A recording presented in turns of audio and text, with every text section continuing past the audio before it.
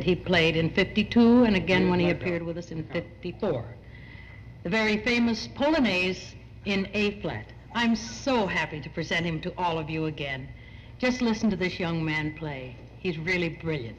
Here he is, Seymour Bernstein. All right, Seymour.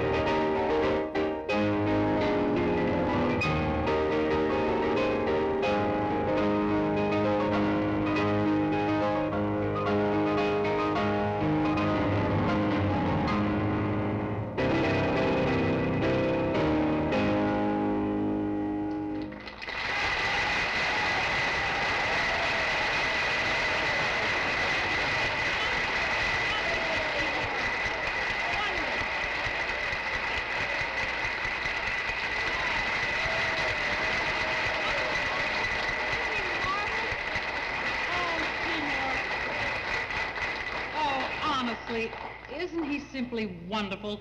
Seymour, I just can't tell you how happy we were that you were able to appear with us here on our show before leaving to go to Korea. And may I wish you Godspeed and good luck on your tour and come back to us real soon. Please, Seymour. It was just magnificent as always. Now, we'll be back with a television premiere of a brand new Frank Loesser tune in just a moment. But first, let's listen to this.